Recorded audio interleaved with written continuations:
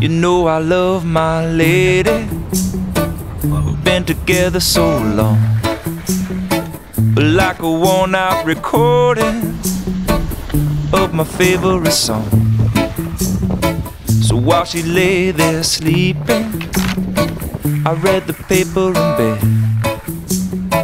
And in the personal columns, there was this letter that read.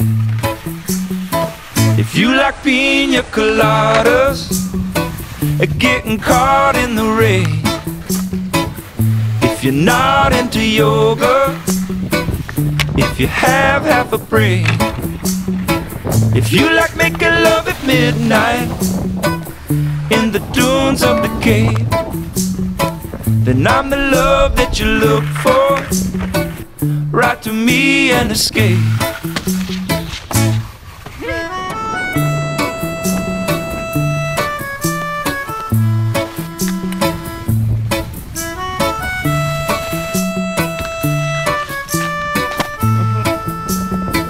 I didn't think about my lady.